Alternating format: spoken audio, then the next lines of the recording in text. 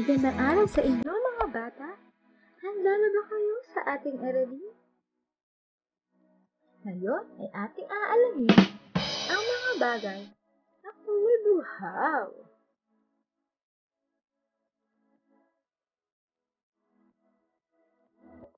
Tignan natin ang larawan ng pamilya araw. Sila ay nagpunta sa beach. Hanapin natin ang mga bagay na kulay buhaw.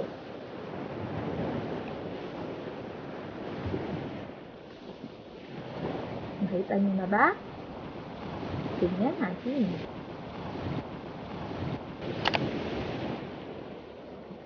Ang dagat ay kulay buhaw.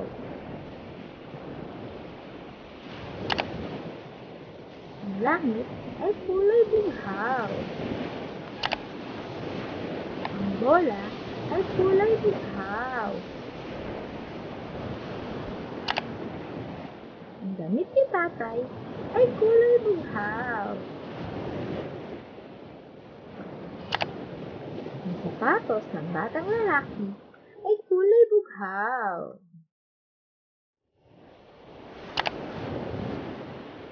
Ang pantalon ni nanay ay kulay buhaw.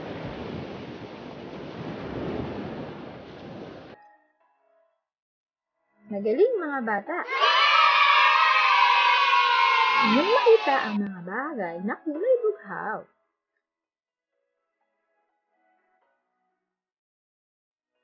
Anong bahagi ng inyong katawan ang inyong ginamit upang makita ang mga bagay na kulay bughaw?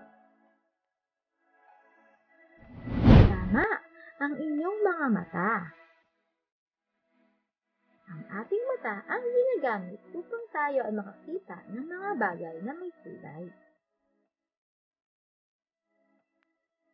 Ngayon naman, sa inyong tahanan, maghanap na kayo ng mga bagay na kulay bughaw.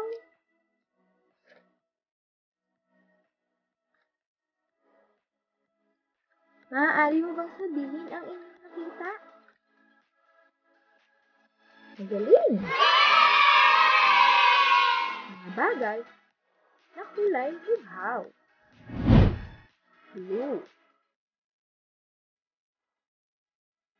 dagat.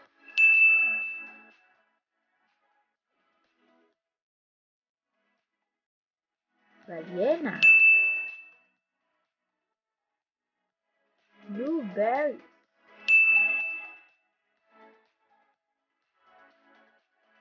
Pantalon.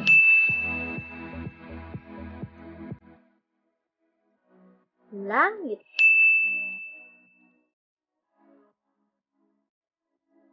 Kotse. Fish. Catboy. Damit. Blues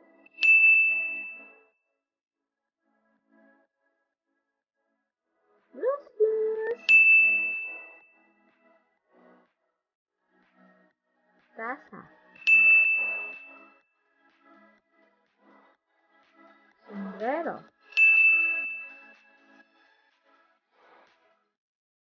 At crayon. Ano-ano nga ulit ang mga bagay na kulay buhaw? Crayolang buhaw. Dagat. Pantalon. Balyena. Blueberries.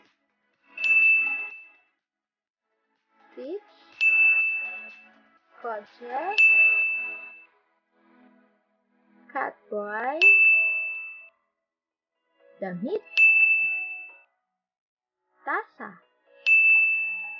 Langit. Sombrero. At silusus.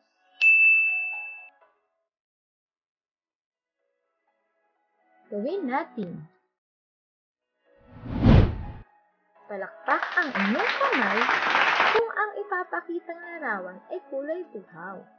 At ipadyak ang inyong paa kung hindi. Pantalon. Araw. Dagat. Kotse. Balyena. Puno.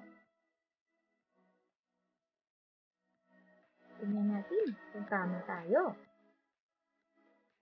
Tama kayo. Pantalon, palakpak o padyak?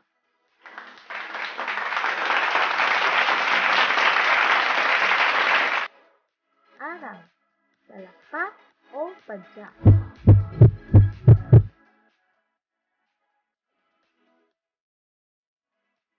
Dagat, palakpak o padyak?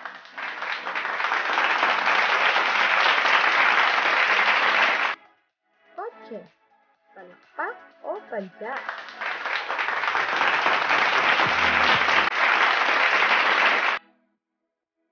Balyena, palakpak o padyak? Puno, palakpak o padyak?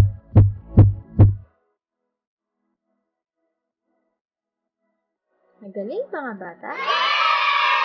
Pat sa ating worksheet.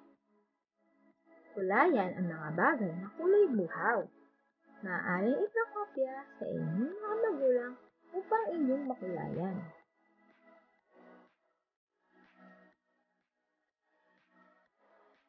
Para sa ating taktang aralin, guhit ang dagat sa inyong papel at kulayan ng buhaw. Hello, Salamat.